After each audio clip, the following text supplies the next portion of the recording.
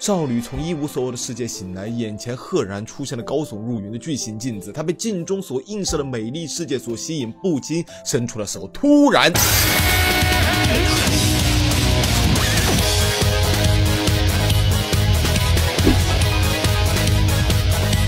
从一八年八月开始立项制作，直到二一年的六月才拿到版号。这开篇咱啥也不说啊，光是国内这个做游戏的环境就挺……呃。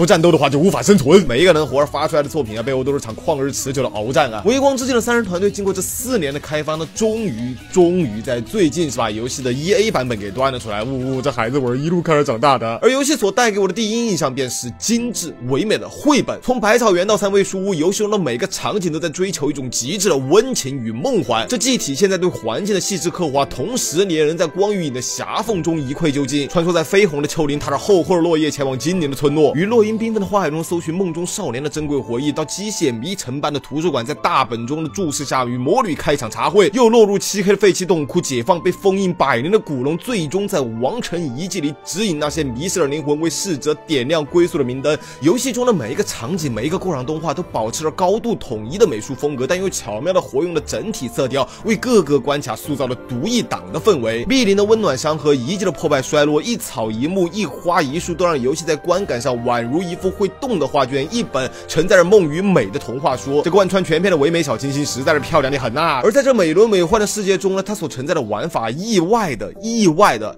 非常耿直并且暴力。从你射出第一发子弹开始，二 D 射击这一玩法就会牢牢刻在你的心头，因为这主角未免有点太能射了。铺种子的炮台射爆，打滚的穿山甲射爆，被封印的巨龙射爆，火力压制，在童话书里扛起喷奶火的加特林，超度所有会动的敌人。这个无呼吸连打，我甚至有种自己在玩。合金弹头的感觉，而随着流程的推进，也将会逐步解锁不同种类的宠物和能力。前者能给予你各种属性补正和特殊效果，像是当手电筒啊，攻击的时候有概率丢个石子儿啊。而后者间接的让整个游戏的地图设计有了更高的发挥空间。这不是一段从左走到右射爆就完事的线性流程，平台跳跃和银河城的元素反而是占据了游戏的大头。首先啊，地图本身就做的很大很绕啊，四五张大地图，无数个房间交叉纵横，连的像个夏季大三角，而每一个房间跑起来也是很长啊，很考识图。能力的，经常出现好几条岔道分支在终点汇聚到一起的情况，和数不尽的无法从这一侧打开的门，这都让探索本身是内容充足并且充满秘密的。而在能力的设置上呢，就相对保保守了很多。你能蓄力攻击，你能实力住周围的物体创造平台，有帮助你跨越沟壑的钩索，反转重力的真实之眼，也有威哥学不来的二段跳。说实话，这些能力确实是算不上多么的新奇，但结合上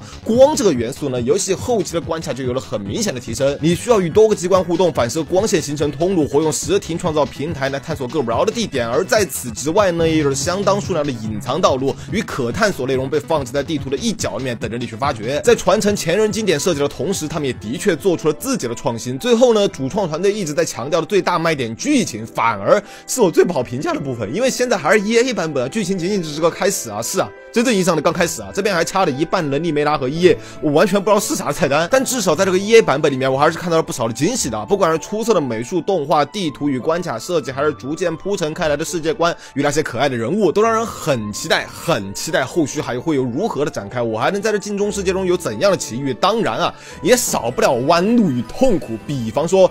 地图，我指的是看的地图。尽管游戏在地图与关卡设计上有着不少的建树，但不可否认的是，大部分的画幅是相对狭窄并且居中的。地图本身也是以方块化、区域化的设计居多，使得玩家在探索的时候呢，很容易迷失在复杂的地形中。有些时候跑图啊，跑得很像在玩《密特罗德二》啊，我指的是 GB 上面那个版本啊。最关键的是，EA 版里面有很多给后期内容占位置的地方，你就看着地图上好像这有条道能走，哎，这边有能互动的东西，但其实它只是占了个车位而已，使得 EA 版通关。后的全收集过程干扰像是有点多的，时常会出现迷路的情况啊。地图本身还是得再优化一下。另一边，我发自内心的想好好叨叨游戏里的文本与解谜。让我印象最为深刻的地方有两个，一个是按八音盒的顺序演奏，另一个是读诗词排顺序。前者除了弹错了提示音外，没有可视化要素。整段一共九个音，放一遍你就得自己挨个去试了。这考的可能不只是记忆力，它同时还要求你有绝对音感啊，你得有能力把每一个音都。听出来是啥，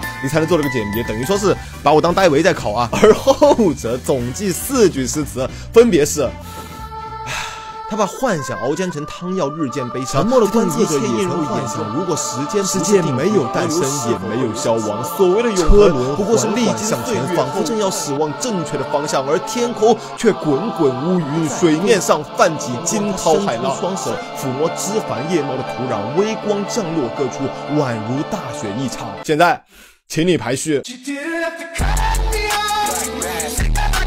还有什么主角问啊？啥叫被选中之人啊？NPC 回答你：世间的一切都遵循了造物主的旨意，我们不过是棋盘上注定好如何行动的棋子。我们为被选中之人组织棋局，而被选中之人则负责演完这场戏。我很期待你能否改变这场滑稽的戏码。啊，原来这就叫被选中之人。